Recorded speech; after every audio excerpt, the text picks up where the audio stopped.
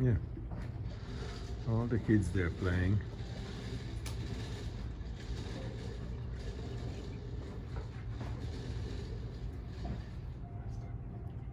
There is some sort of support under the slide.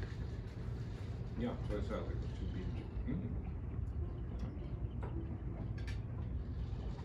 I mean, that's a great fun. I would think for adults alike.